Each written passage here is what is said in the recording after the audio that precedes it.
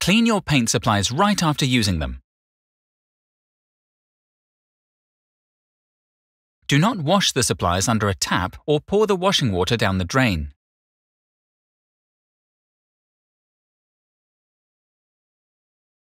Wipe the excess paint off the brush first, then soak the brush in a separate container. Use water or paintbrush cleaner. Wipe the remaining paint and wash the brush under a tap. Let the remaining paint form a precipitate at the bottom of the container. Pour the separated water down the drain. Do not pour brush cleaner down the drain. Let the precipitate dry at the container and sort it as mixed waste.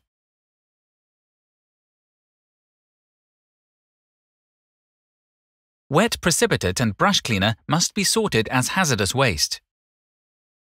Remember to label the contents of the container. Clear and separated brush cleaner can be reused.